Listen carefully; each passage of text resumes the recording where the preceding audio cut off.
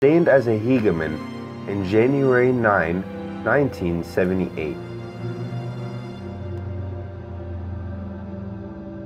He was ordained as Chorepiscopos in June 18, 1978.